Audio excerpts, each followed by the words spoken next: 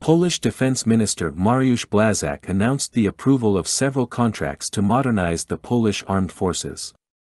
The contracts were announced in Nowa Deba and include the acquisition of MS-20 Daglezja armored vehicle-launched bridges, Zaułek command vehicles, motor vehicles for marine missile units, and an annex for the supply of 120mm ammunition for RAK self-propelled wheeled gun mortars. At this stage, neither the financial amounts nor the number of vehicles have been disclosed. MS-20 Daglezja Mobile Assault Bridge The MS-20 Daglezja is a mobile assault bridge mounted on a Jelcz truck chassis and trailer. Manufactured by the Polish company OBRUM, the bridge facilitates crossing water obstacles and trenches up to 20 meters wide. It can support the weight of heavy vehicles, including third-generation main battle tanks and 155mm self-propelled howitzers. The bridge layer takes approximately 15 minutes to deploy and can support a mass of up to 47.9 tons. Two soldiers operate the system and it has a maximum speed of 85 km per hour.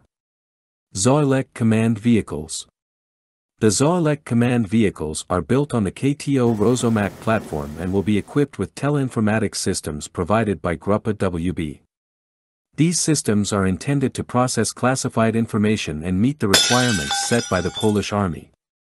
The Zaułek vehicles are planned for deployment at higher echelons, including brigade levels and above. They will replace the existing Croton command vehicles, which are also built on the KTO Rosomak platform.